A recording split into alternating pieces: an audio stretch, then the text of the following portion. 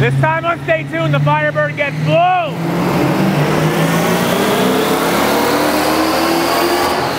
Ooh, wow.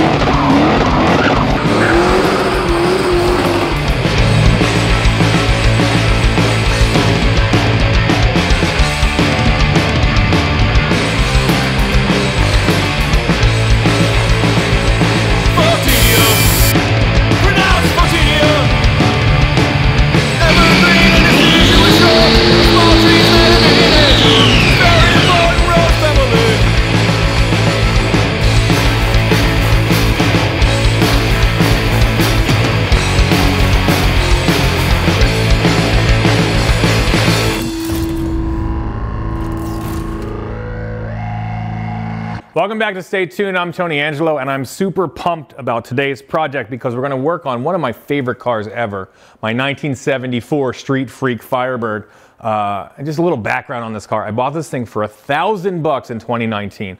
Uh, it was kind of rusty, crusty, gross. It had been sitting for about 25 years. Now you can see, obviously, it was like a masterpiece in the 80s, but then it just sat forever. No motor, it hadn't run, it hadn't done anything. So we spent quite a bit of time knocking the rust off, polishing out the paint. We built a killer 462 Butler Performance stroker engine for this thing.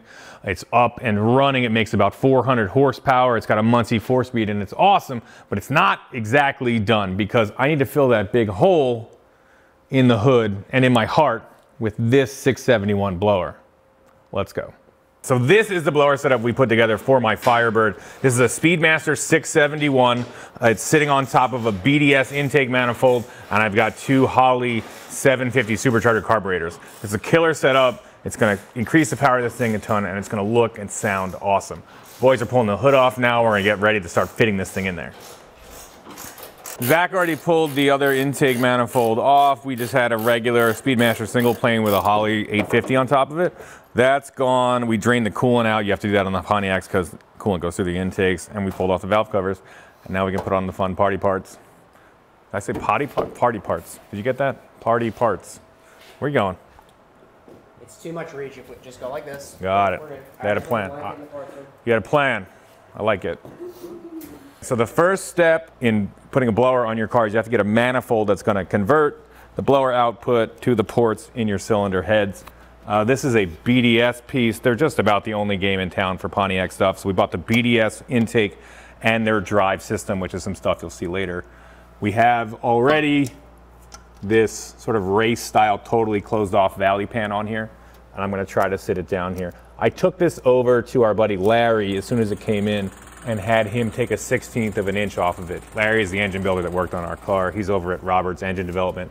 He does an awesome job. But we know we had these heads milled and we had to take a little bit of material off the last manifold. So we just did the same thing here. It looks like it fits really closely.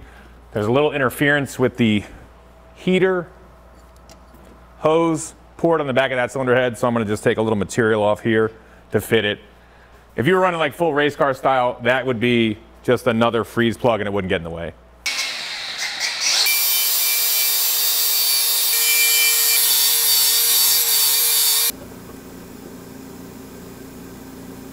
That's plenty of material gone. This is gonna be the best. Ugh. Just your average 80s masterpiece, velour interior, supercharged four speed Firebird. I, lo- I love this car so much. A lot of pressure going on in this intake manifold, and these things have a tendency to uh, backfire and blow the blower clean off these things. A lot of people got hurt back in the day, so there's a lot of safeties on them now. When you see racers running with blowers, a lot of times there are like Kevlar straps that hold them down so that they can blow up but not go flying into the stands and hit people in the head, stuff like that. You don't want one of these things chasing you around the grandstand. There's a lot of safeties. This is one of the things they do. Essentially, if there's a big backfire, the idea is that these are spring loaded. It'll back this thing off, let that pressure out without anything exploding and going flying. We'll see. A lot of times people that have like a bigger, more gnarly blower setup will have a, a burst plate in here. It's a one-time use thin piece of aluminum. Anything goes wrong, it explodes, saves your motor, saves your carburetors from getting rocked. Uh, and then you just take it off, put a new one on. I've done that on Finnegan's Hemi. uh, 11,000 times. I just got installed the water neck with the thermostat, the gauge sender for the coolant temperature gauge, and this little bypass fitting that connects to the back of the water pump. This thing's about ready to install. Let me get you up to speed on these blowers. Now the deal is people always talk the blower this 871, 1071 that. What are they? So when guys were coming back from World War II and wanted to go faster with their flathead Fords, one resourceful genius named Barney Navarro looked at a Detroit diesel six-cylinder uh, engine, and it had on the side of it because it was a two-stroke, a supercharger kind of built into the thing. And he realized he could take it out, make some adapter plates, hang it on top of his flathead Ford, figure out a drive system, hang some carburetors on top, and go much, much faster. And that's how it all started. It's such a cool story. People have been working on improving these things for years. The originals were 3, 4, and 671s. Now they've essentially built them up to be up to 1471. That's the kind of stuff you'll see on more serious drag cars. And they're, they've evolved to have uh, different lobe configurations, high helix ones, which different twisted rotors, things like that. But it all started when one dude in a junkyard looked at a two-stroke diesel motor and said, I can use that for my car. And that's like the essence of hot rodding. So I can't wait to get this thing on there. All right, we finally have a manifold on here. Now we can start talking about putting this blower down. Uh, you put a base gasket. These are special studs. These are aluminum again. Uh, blowers are wild and dangerous. You know, it's this giant belt-driven supercharger cramming air in your engine. Explosions can happen. So these are actually made to break so that it doesn't blow. Like if it breaks and it blows up, it just blows free was I think the original idea behind these things. All right, so the BDS intake manifold is down. It seems to fit pretty well. Uh, and now it is time to lay down our Speedmaster 671 supercharger right on top. Come in or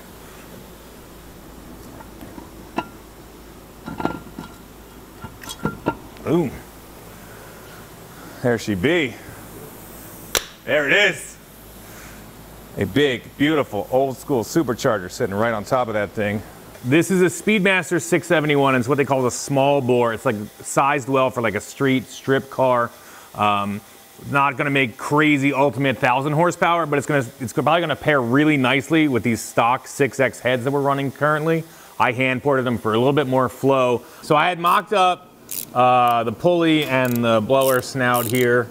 Uh, mock up is a fancy word for saying I wanted to put it on my Instagram, and it looked cool. Tangelo 96 if you want to be part of the fun.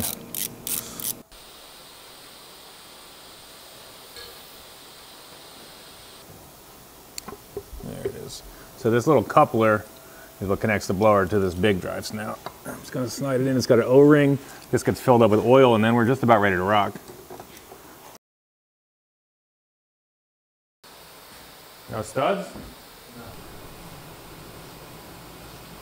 So these blowers usually have a sight glass in them and you're just gonna fill either in one of the bolt holes. I actually have the little vent out right now.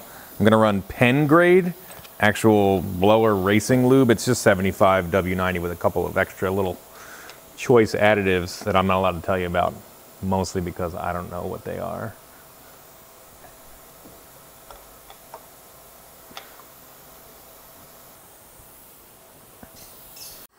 I'm finishing up installing the belt tensioner and the front drive snout. Zach's put on the dual carb plate for the intake, dropped on two 750 Holley supercharger carburetors, and is working with this four barrel linkage setup from Weiand. It's a lot of moving parts here.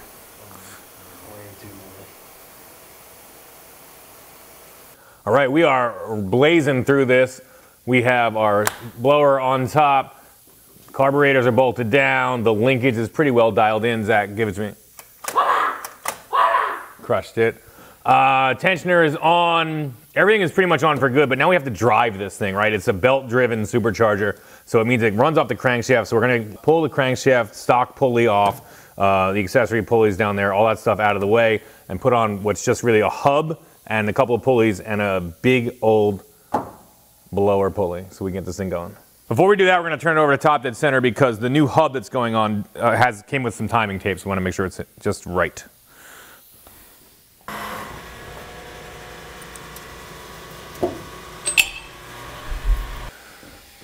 That's some technology right there, baby. Perfect. Now I'll take it out of gear. So anytime you're going to run a big old supercharger off of your crank pulley, anything that's belt driven, usually people do a second pin. This is like uh, a different key, a second key to transfer all that power because if not, you can actually spin your hub on the crankshaft itself. It'll slip from all of the, it does take quite a bit of power to spin these things. So this one has been double pin. This is the factory eighth inch pin, and then we added a second quarter inch pin into the Eagle forged crankshaft. Uh, and then this hub, crank hub from uh, BDS is going to accept that, so it's will be much stronger. A lot of times you'll, the kits that come aftermarket will give you like a fixture to drill one in. It's got to be pinned one way or another to transfer all that power, or it's going to slip and you're going to be in trouble. So I've got the key already in there.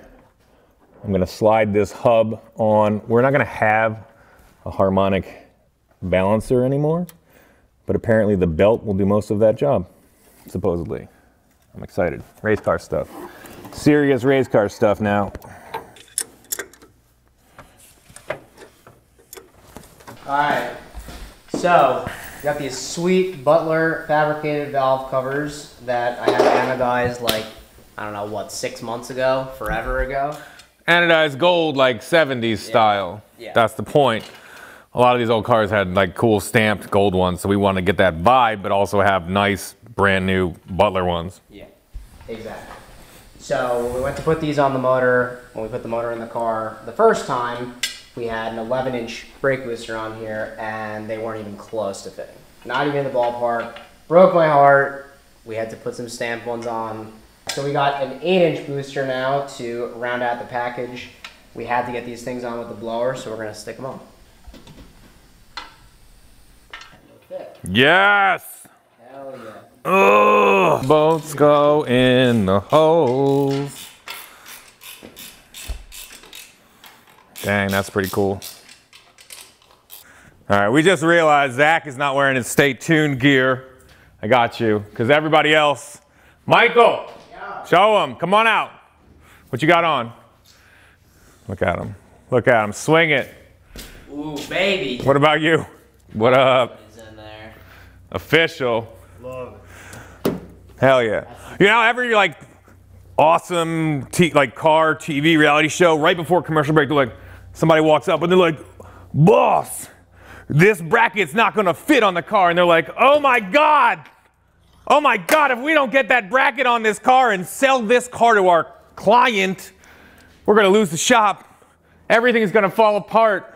They're gonna sell, the bank's gonna come and take our farm. And then boop, boop, commercial comes back and he's like, I ground the thing, it fits. And then everybody goes on with their day. Woo! Fake drama. Anyway, that's what this shirt's about. It's hilarious. Buy one.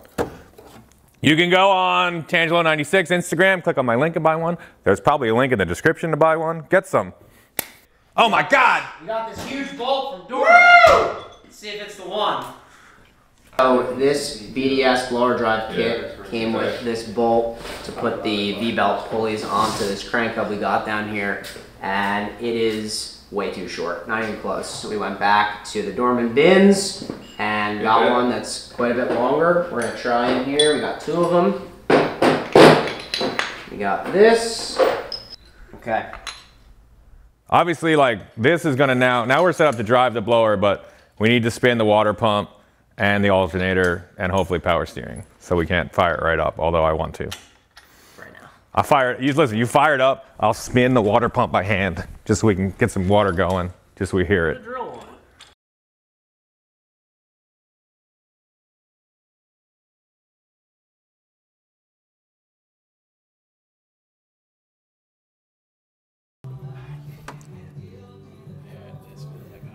That's something right there, boy. Now we're doing it. This feels like hot rodded. That's right. All right, so this is not a big block Chevy, so it's much harder to get parts for it. We're trying to figure out how to make V-belts work with the blower, drive an alternator, and a power steering pump. Uh, we bought this very basic Tin Indian alternator mount that just bolts off of the cylinder head. It's supposed to bolt off this cylinder head, um, but we're going to try to run it off of the passenger side. One thing we know is that essentially driver's side and passenger side cylinder heads are not in line. The passenger one is forward. We're going to take a little bit of spacer off of that thing. They say in the instructions, like you can kind of work this in however you want. Aftermarket cylinder heads, there's four bolt heads, six bolt heads. They're like, just figure it out and make it work. So it's a nice little piece and it kind of has a lot of flexibility. So we think we can make it work over there, which would be awesome because then we have this chap performance uh, piece to hang the power steering and then we'll be really close to firing this thing up. The last piece of the puzzle will be making an upper radiator hose that can sneak under the blower and over the power steering pulley and then we'll be in business. I like that. Nice bumpy. Now what do you think? Real sex machine. Yeah, give her a little little test. She got a little. This whole thing's supposed to grow when it gets warm, so you don't put them on too tight. Okay, so we have our Speedmaster 671 sitting on top of that Butler 461 stroker Pontiac engine. It is time to fire this thing up. I am pumped. I'm ready to hear some horsepower. This thing should sound bananas. Uh, it took a while. Apparently, I'm never going to have power steering. That didn't work out. Whatever, forget it. Uh, but we've got the coolant in there, the alternator set up. Uh, we're ready to go. There's no throttle pedal, so I'll work it from out here. All right, Zach. Make sure it's in neutral. Attaboy. Give her a wiggle.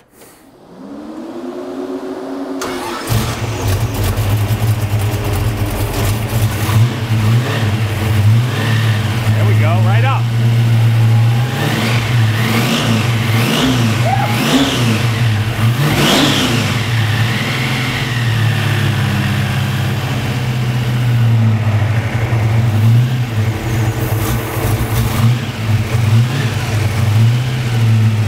Anything crazy happening?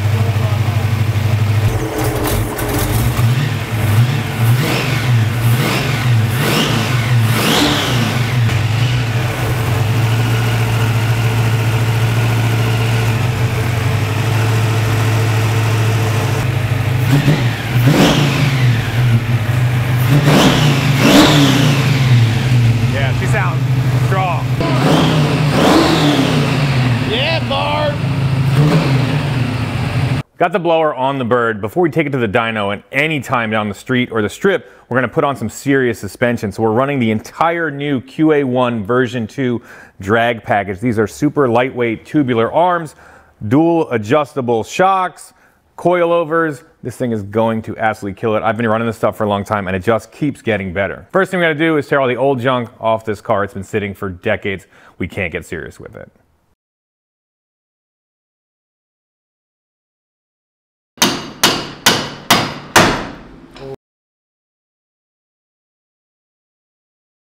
So for drag racing, you need light, strong, and arms that move really easily, suspension that moves really easily so you can transfer weight where you need to.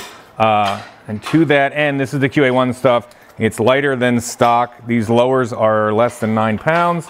Uh, it has these super low friction ball joints and bushings. The stuff is super nice. Um, you do have to run these with their coilover system. There are other arms that are regular street arms you can run uh, with as much stock components as you want, stock shock, stock spring, whatever. But this stuff is used just with their coilover. You can see compared to this essentially big old flexi brick, this is entirely worlds better. And that's just how low friction they are. They slide right out of this thing. Stuff is gonna work crazy. So these pockets in here that the control arms sit in were really tight.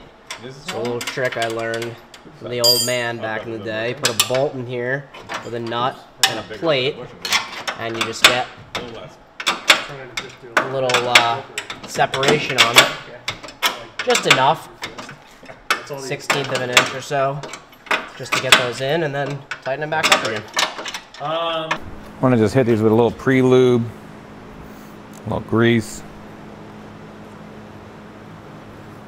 They do have little fittings to fill those little pockets with grease, but I just want to get something on there. Yeah. All right. These are going to slide right in, right? Sure.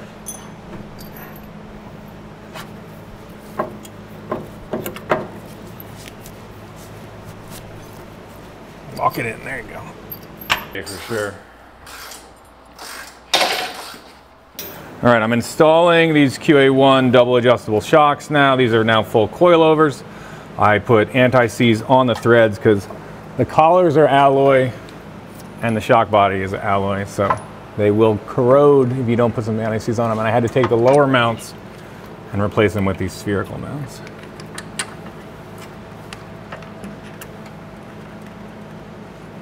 Got them hanging in there.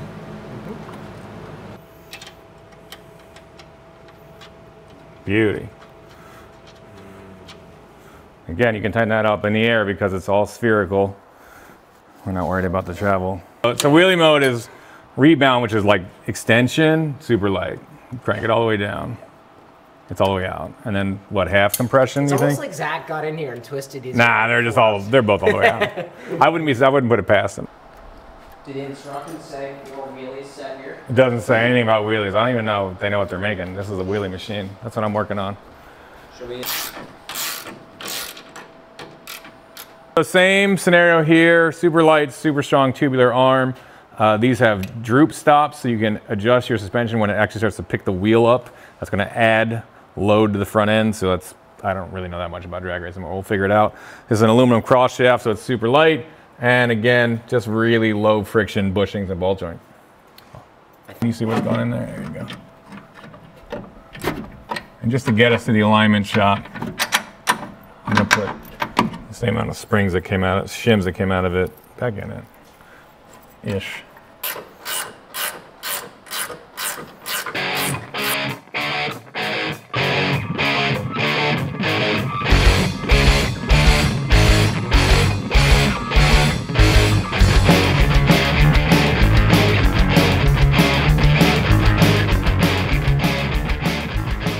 I, we ordered up a steering kit that would fit 1970 to 81 Camaro and Firebird. Come to realize that the Draglink is totally different.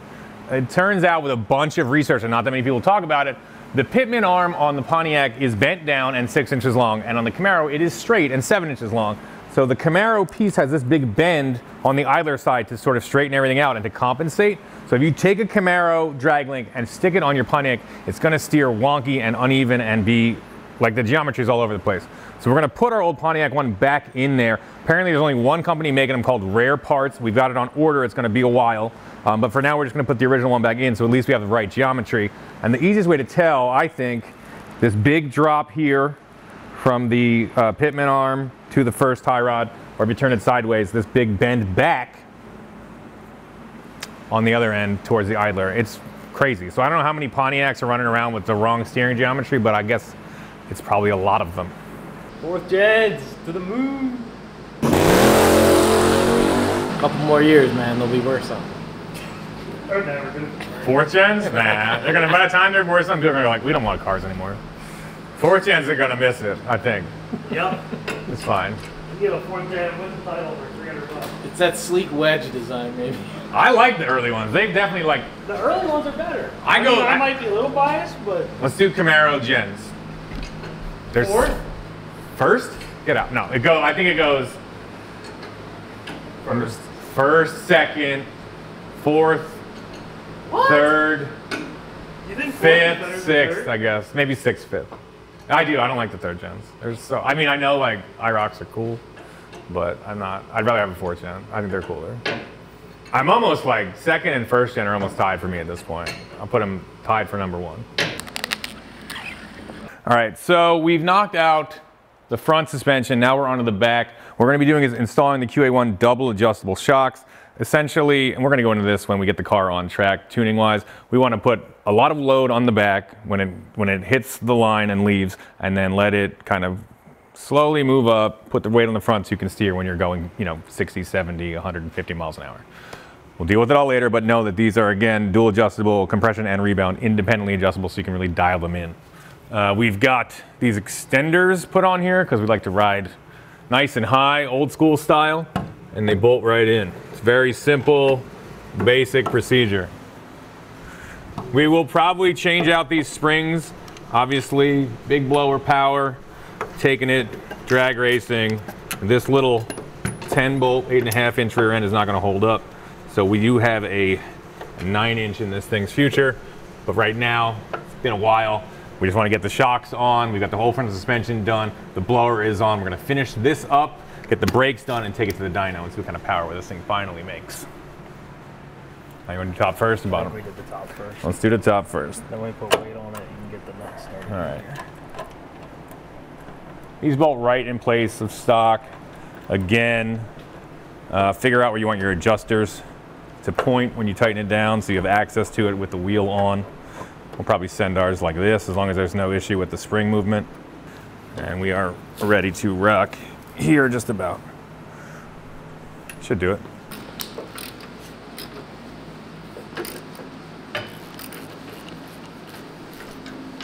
That's good. I usually tighten them up till the bushing bolt is just out over the top of the washer. Raise her up. So now we're going to talk brakes. Uh, one thing we tried to get away with was just doing the front brakes on this car. Uh, new calipers, pads in the front, new master cylinder, now a new booster. And uh, just because we knew a 9 inch was going to get swapped into the back. And guess what happens? It doesn't work. When you have a master cylinder that's got shared, uh, essentially like circuits, front and rear, like any regular stock style that's got the two in there, this has fully seized wheel cylinders. They're not going anywhere. So that back circuit is just rock solid and it doesn't allow the front to do much. You got to push on it super hard.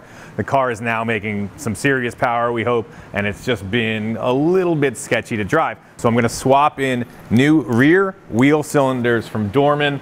Uh, I've got their entire hardware kit. Dorman is an awesome Pennsylvania company. They've been around over 100 years making different auto parts and uh, they've been supporting Stay Tuned for a very long time. So we, we really like their stuff. We use it whenever we can. I'm gonna pull in here. Drum brakes are my least favorite thing ever. So I'm gonna take a picture of this so I can get it back in the same uh, exact configuration. Come in here, living dangerous without the phone case today. Take a picture exactly how it's dialed in. There are people who are good at drum brakes. Uh, none of them work here, apparently. There's the lever guy. And what you want to do is find someone uh, who grew up before the internet and ask them how to do it. Find somebody that saw Metallica before Cliff Burton died. You know what I'm saying? Some OGs. Get their get their take on it. Feel free to ruthlessly roast me in the comments for all of these maneuvers. But essentially, tear everything off uh, and figure out how to get it back together. And that's that's the way to do it. And this is the problem part. This is the wheel cylinder, clearly frozen, hasn't moved in forever. There it goes.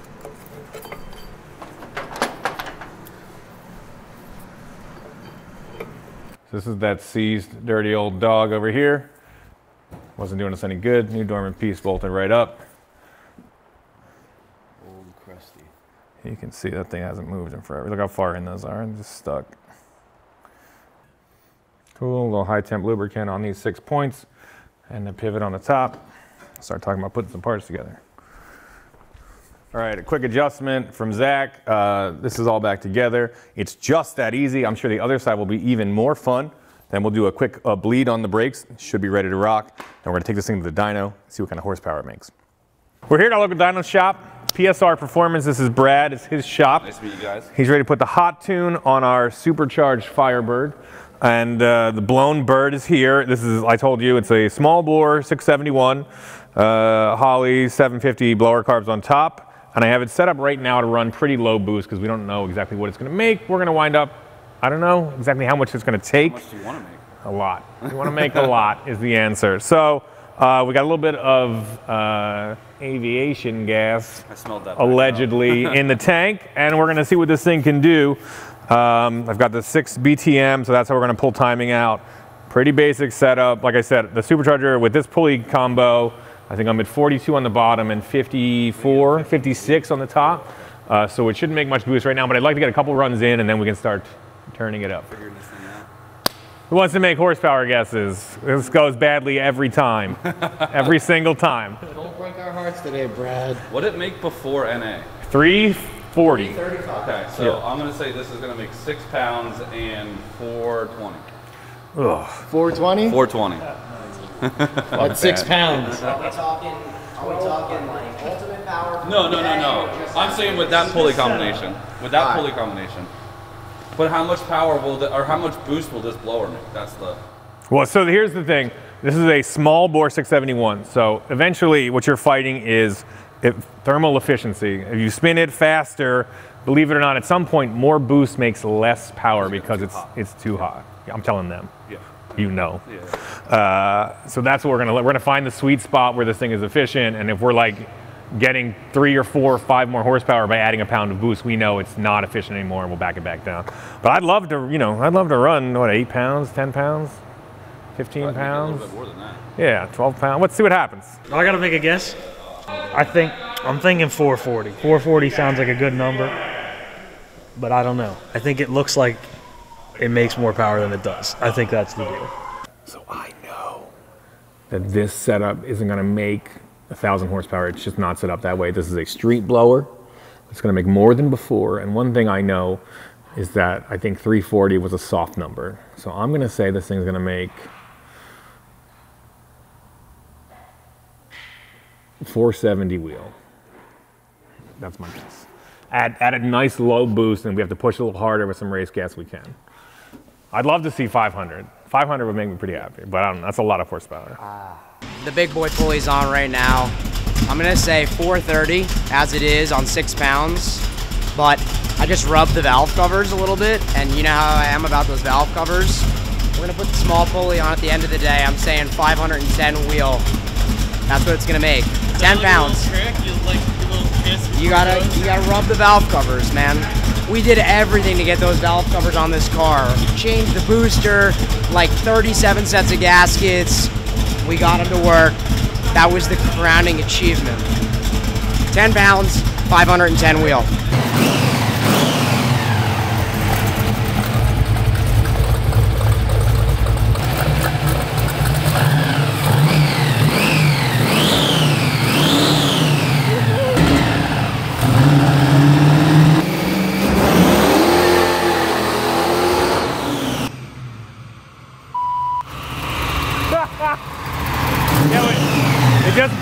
Tires off the dyno real bad immediately.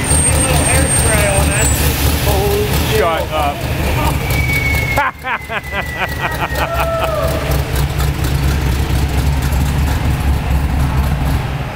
What? This thing's crazy. Yeah, my gas isn't looking so bad. Just We're above mine already. We're What? What? What just happened? You flipped the clutch a little bit. At first, I should have had some more heat. in it. No, the tires No, they were blew, blowing- dude. Did it blow the tire? It blew the tires right off, dude. Like smoking. They were smoking the tires. That was crazy. I wasn't sure if it was tire or clutch. It felt like clutch to me. No, that was tired. No, it was the tire. I was like, oh, he's around. Like this is crazy. So it made. f- f- Do you think that number is right? The horsepower numbers, right? The torque might be a little off because of the way. It Yeah, because it hits. You're only, you're only second guessing why? I don't know, because this thing finally makes some horsepower. See? What, what does this mean when you put on the second set of We're putting the second set of straps on because it spun the tire immediately. You can see, look how slick they are. But, but that means it's probably pretty bad. Yeah, it's pretty badass. It sounds, whoo, it sounds good, boy. 300 foot burnout we were talking about? Yeah, it'll do it. It'll do it. You're gonna have one of those uh, the Australian burnout cars. Dude, sounds so good. Yeah. So this car has always been like looked amazing. You know, we've done a lot of work to it. It's like looked super rad. It's like been coming together, been coming together, but it always didn't have this last final piece to make it as burly as it looks. And now it's it's on there. It's doing the thing. Admit We now. finally Admit filled that now. hole. We finally filled that hole. Admit it now. Everyone was a little sad the first time. Oh, we were super sad. When it made 340, we were like, oh. Bana- this is wild.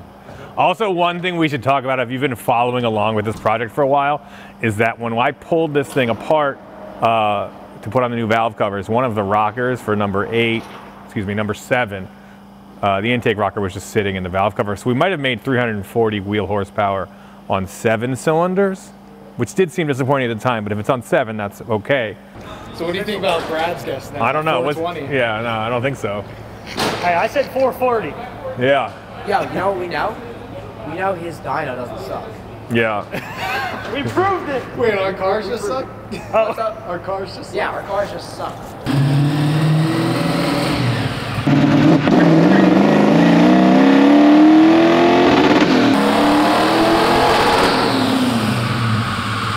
Literally, it went from so if you look at the gauge, it has like a little window at zero. It went on the other side of the window to the right. It went counterclockwise. Is it loaded up more in fourth gear. It yeah, won't really change the way the blower works. No. Everything's hooked up. We need to put zip ties on all this stuff, but it's all good for now. So, it so it made like two pounds. 447. 47, 480 foot pounds. I like that little chip action. Here's what's happening. Uh, at barely three pounds of boost at red line, this thing's making 440 wheel horsepower. So we're probably gonna run double the boost and see what happens. We gotta run six, right? we gotta keep going up. I don't know what's happening. We showed up, we've been here like five minutes and we're making a whole bunch of horsepower. This is like a very new thing for us. So these are blower pulleys. They're the same on the crankshaft and the blower themselves, so you can interchange them. And essentially, it's all about getting the right speed. The faster you spin the blower, the more boost it makes up until a point when it becomes inefficient. Well, these numbers on these pulleys um, basically just relate to how many teeth are on each one. Um, so this is a 52 tooth, 56. This big one is a 60. If you put that on the crankshaft, it's going to spin extra fast. You put it on the on the blower, it's going to spin really slow. That's how it works. So this would be insane, 30 pounds of boost, blow everything up. This would be really slow, not make much boost. Nah, it's like eight pounds. Yeah, but we're gonna do 52 on the bottom so that we can do 56 on the top and then 48 on the top to go racing. Or write it down. Look at it. Look at it. 52 and 48. I don't know if we should, yeah, should we just leave it at six? It Depends. Probably, te- yeah. Depends if we're tipping on that edge Yeah, of 500. We should leave it at six. Yeah, I we don't should know. definitely Uh, leave it okay, at okay. six. I don't know. Hundred percent, we should leave it at six. Well, like, the reality is, the reality is, with this transmission and with this rear end, like it's gonna be on. It's just gonna explode both of them. Changing the jets from 76 to 73, which is about five thousandths if I remember right. Believe it or not, each jet doesn't mean it's the same change. Just grind on it Zach slow. gets, Zach gets the under- car pregnant. And It's then the underrated, the underrated mechanic pushing your loins Yeah, up against really the let front end. really put your essence in there. That's why I was in the engine bay to be like, You turned 23, dude, and now you're just bumping and grinding. Yeah, we're gonna do a 23 and me on this thing afterwards too. The father is. Dude, definitely. Spoiler alert! It's this guy. Put the more. yeah, get those angles, Favorite Russo. thing of the one video. I just want to throw this pulley when I get it up. So Larry at the machine shop pulls out his calculator. He goes, "Oh, if you're running on race gas, uh, probably make like 630 wheel horsepower at eight pounds." He might not be far off. He really might not be far off. This is this made 444 at two and a half pounds. He really.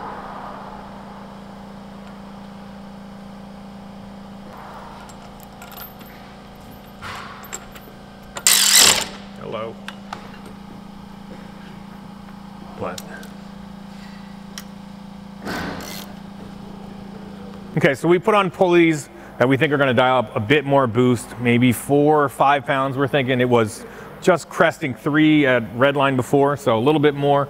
Uh, we've got a bigger pulley on the bottom that we're hopefully going to leave there, and we have essentially about the same size on top. It's just a little bit uh, bigger. We have a 52 and a 56, so it's going to be what they call underdriven. It's spinning a little bit slower than engine speed, but I think it's going to be pretty close. And then we have some smaller ones that'll get it over engine speed. We want to turn that party up.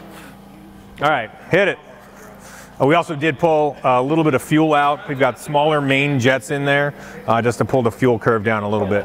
Yes, We also ordered pizza. we did order, pi- and also we ordered pizza. Barb, you ordered Not a pizza. boy, that's my guy. Oh.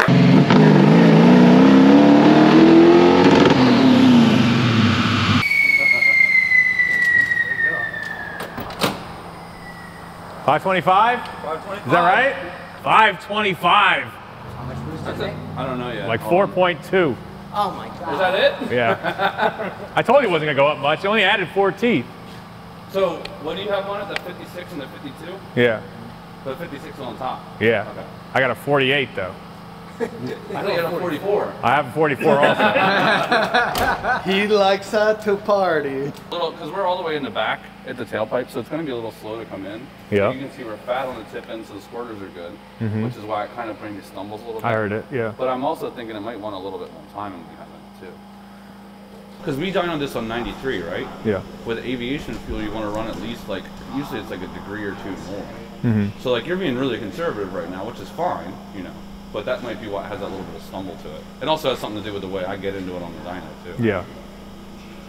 All right, so it's now making at four pounds of boost, 525 wheel horsepower on a Mustang dyno, which is solid. And It's a lot. 561 torque. 560 torque at the tires. It's a lot. It's a lot of horsepower. it's making some juice now. I don't know, more boost in it, I guess. See, so, I don't know. We gave this thing four pounds of boost, and it has picked up 250 horsepower almost. Two, no, no, excuse me, 200 horse. We're up 200 horsepower on four pounds of boost. It's wild. It's a blower motor. I mean, we knew it. You know, the the cam is set up for a blower, the compression set up for a blower. Uh, man, it loves it. This thing loves boost. Also, also, I love boost. Tony, what was the number that you were running before we left? 470. I really wanted to, to crack 500 wheel, But but, I just I didn't want to say it. I didn't want to Dude, say now it. that it happens, Now it happens, I'm stoked. Yeah, this is what Yeah, I'm but hoping it's for. almost like it was too easy. Uh, It, it just feels like it happened too quick. it did happen quick. A lot of things are gonna happen quick in this car. A lot of things are gonna happen quick. And, and I was like, Like at this point, I'm like, we're gonna twist that stock drive shaft right out of this thing. We're gonna blow the axles out of it. Clutch can't hold. Transmission's on its, on like you know, living on a prayer at this point. No, we'll see.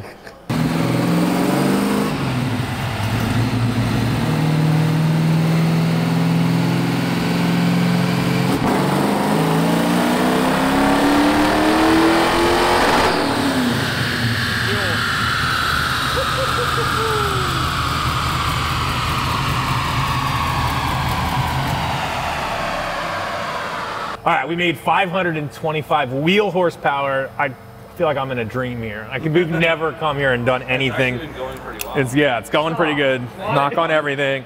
So why not? We're gonna turn it up a little bit more. Look at that. Just just take a gander at that one. Yeah, that's gonna be our party pulley for a while, I think. This is a super easy setup that we can dial in on the fly. This is boost retard. Um, essentially, as for every one pound of boost, it will take one, two to three degrees of timing out. I've got it at one and a half. Uh, so for seven pounds of boost, it's pulling 10 and a half degrees of timing. So I'm gonna turn it down to one, make it a little hotter. We got some good gas in there and we'll see what it does. But it's nice because if we go to the track, put on a small pulley, put some race gas in it, we can very quickly just turn that knob and be ready to rock at 100%. Oh yeah, it's Pizza time. We earned this pizza. We earned this Pizza time. Wow. Caesar salad, one fork. All right. Hell yeah. They make a they make a nice pizza.